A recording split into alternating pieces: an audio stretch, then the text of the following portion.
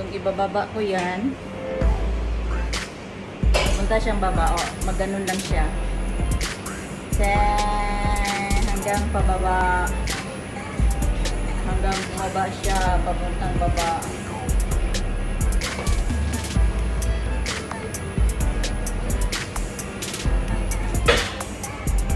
Then, pipindutin ko dito para magkakit naman siya.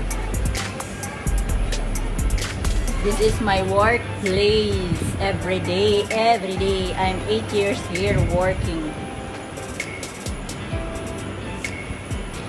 So, umakyat na si Lef.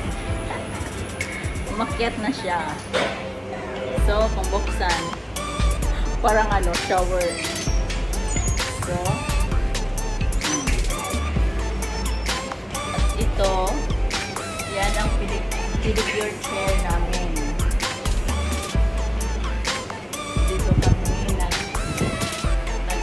Nagpipedicure.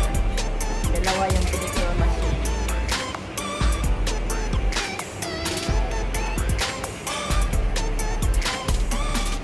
Then, ito ang waxing room namin. Waxing room. Ito yung amo namin nasa taas. Everywhere yung picture niya. Pero more than 60 na yan siya.